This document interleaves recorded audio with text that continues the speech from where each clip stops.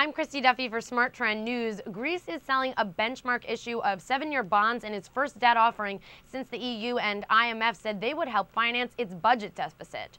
Greece may price the bonds to yield approximately 310 basis points over the mid swap rate, according to people involved with the transaction. Both the EU and the IMF agreed to stand behind Greece's debt last week as it prepares to raise about 53 billion euros by year end. I'm Christy Duffy for SmarTrend News. For more updates on Greece's debt situation, Make sure you're subscribed to our YouTube channel, Trade the Trend. You can also find more information on this story at www.tradethetrend.com.